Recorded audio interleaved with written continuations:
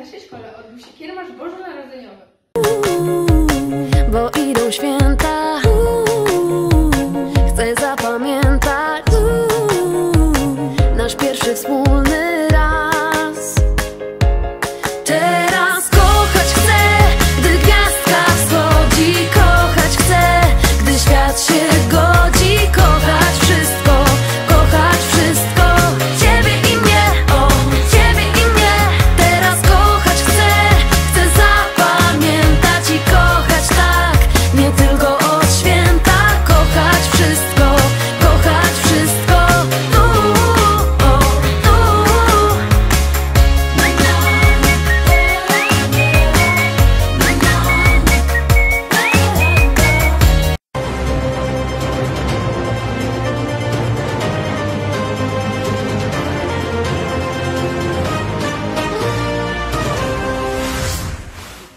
6 grudnia naszą szkołę odwiedził święty Mikołaj. Wszystkie prezenty szybko dzieciom rozniesie.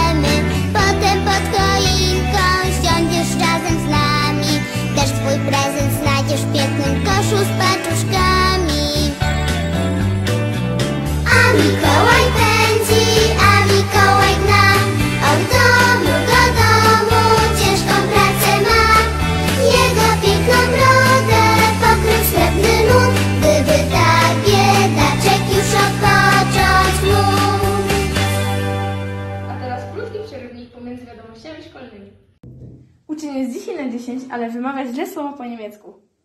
9 na 10. Uczeń jest 10 na 10, ale kreskuje uje. Za moich czasów była taka definicja, rymowanka. Jeśli ktoś kreskuje uje, dostaje dwóje. Yy, dwa warianty. Raz dostaje 0 punktów, a raz dostaje 5 punktów. 5 punktów dostaje wtedy, gdy ma zaświadczenie o dysortografii. Uczennice 2010, ale nie wiem kiedy odbyła się bitwa pod Grunwaldem. Yy, nie wiem kiedy odbyła się bitwa pod Grunwaldem, to chyba dwa. Uczeń z 10 na 10, ale nie umiał rozróżnić komórki od tkanki. Jeden. Uczeń z 10 na 10, ale nie znam wzoru na deltę. No, mam umie szóstkę. Uczeń z 10 na 10, ale nie czyta lektur.